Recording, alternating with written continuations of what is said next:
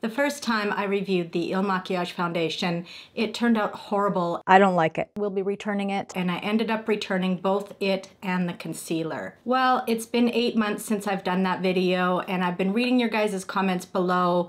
Some of them um, have been telling me that I probably used too much or, you know, the application wasn't the greatest. So I thought it would only be fair to give this foundation another try. And honestly, I'm still seeing it all over my feeds. I, I it's gotta be good, you know? You, it's gotta be. It's gotta be. Because everybody's raving about it. So I wanted to give it a try again. I think I know what I did wrong in the first review, and if you watch until the end, I will show you the three biggest mistakes that I made in applying the Il Makiage foundation, and what I did differently this time to get better results.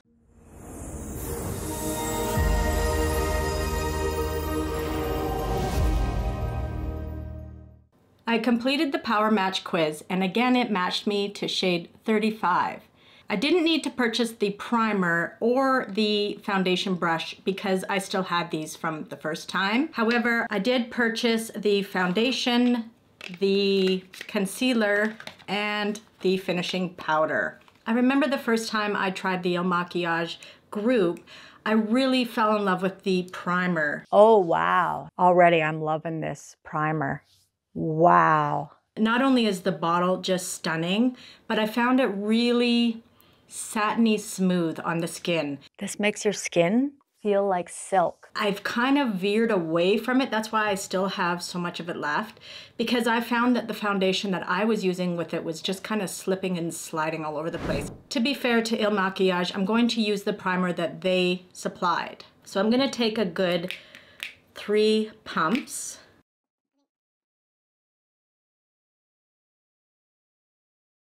And yeah, it is. I mean, it really does. It feels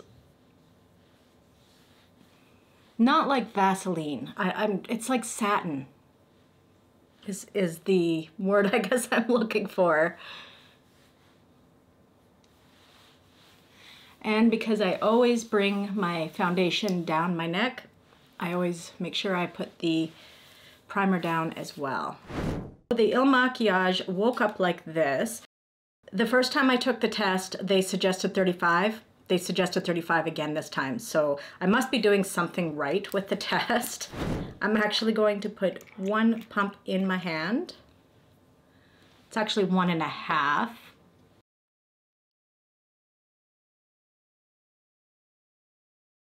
And I'm gonna massage the brush into the foundation. Now I always try to start in the center of my face because that is where I need the most coverage.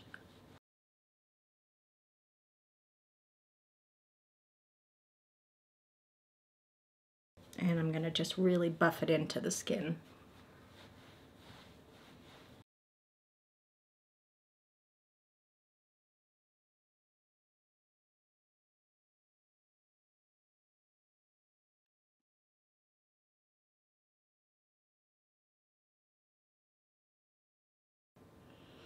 So the match to me is actually pretty spot on. Now when I tried it the first time, it seemed like it was, actually it seemed like it was a good match at first. And then as the video went on, it kind of turned orangey. And this is a medium coverage, medium to full. And you can layer it, but I think I'm going to just stop right here.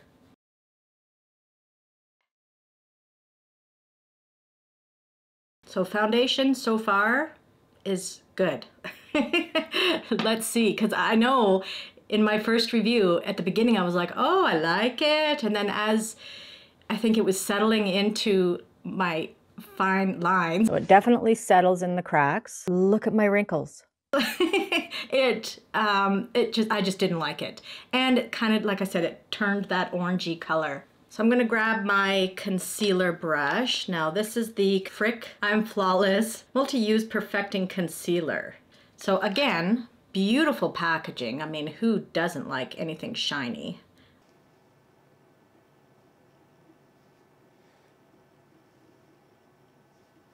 And I can't forget that nasty scar of mine. You know what? I even have a dark spot on this side. It's like it's trying to be twins. I'm using my new Nikki LaRose. I was corrected in my video. It's actually Nikki LaRose, not Nikki LaRosse. N16. And just so you guys know, please, if I'm pronouncing things wrong, if I'm applying stuff wrong, let me know. Like I was, I don't take offense to that stuff. I love the fact that you guys are engaging with me. And I mean, the whole idea of this channel is so that I can learn and so that I can, my viewers can learn what I learn. It's all about helping each other. So really good coverage on the concealer.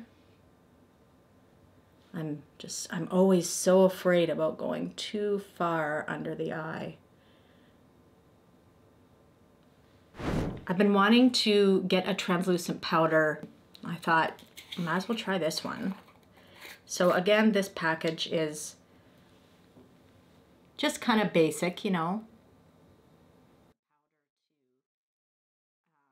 This is self-baking, which is good because I've never really understood the whole reasoning behind baking. It's not something I really got into.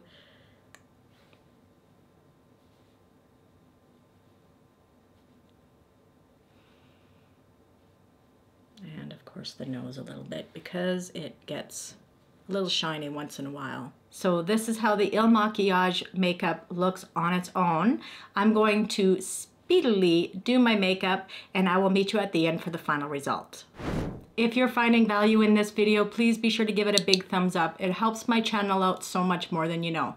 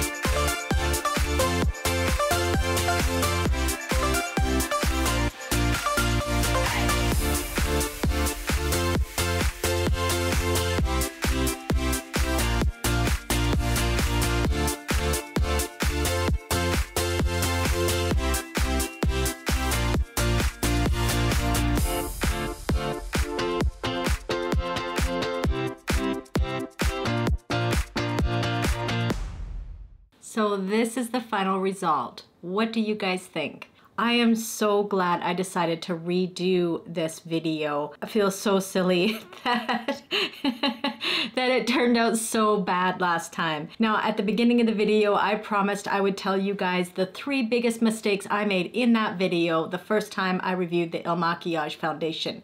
Number one, I didn't exfoliate the night before. Prior to just a couple of months ago, I did not exfoliate near, not even close to the amount that I'm supposed to. I have been learning that you should exfoliate at least three or four times a week. Get that those dead dry skin cells off of your skin, off of your face, so that for one, your skincare can actually do its job. It's not trying to fight through all that stuff. But two, your foundation and your primers and your concealers, they will just sit on the skin so much better. So that was mistake number one. Number two, I used way too much of the foundation.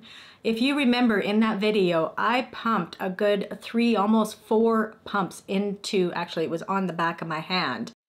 And that is just way too much. You saw today, I think it was one and a half, just to be fair. It was about one and a half pumps that I used today, and that was plenty enough. My skin, I gotta say, I'm pretty blessed with my skin now. I used to break out a lot. It used to be really oily, but since I had taken Accutane, my skin totally did a, to- a full turnaround, and I'm pretty blessed now. And so I'm very thankful for that because I don't need absolute full coverage. Number three, and I have mentioned this in a few of my other videos, I was using a very cheap drugstore sponge. Now, I don't know why I was using that sponge. I have, maybe I was struggling financially a bit or just hadn't made it down to Sephora yet to, to get my Beauty Blender. But I've been using Beauty Blender for years, so I'm not sure why I was using a cheap drugstore sponge. Maybe I thought, you know, let's just give it a try. I mean, save spending $27 on a sponge. So yeah, that was my big mistake as well, is using a cheap sponge. And I can't believe I didn't notice this before. When they sent me my shipment last time, they gave me a free foundation brush.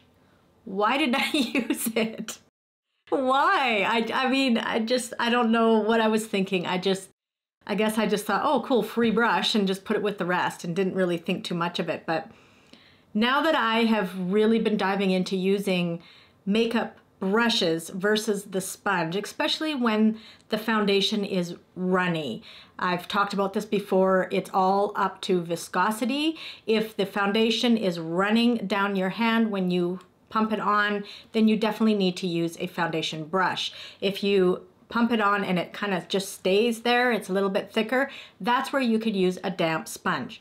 But if you're going to use a sponge, use a good quality one. I'm not saying use the Beauty Blender, but don't use one that's from the drugstore. They do not apply nicely. It does not, it just caked it on. Like if you look back at that video, I looked horrible. It just caked the foundation on.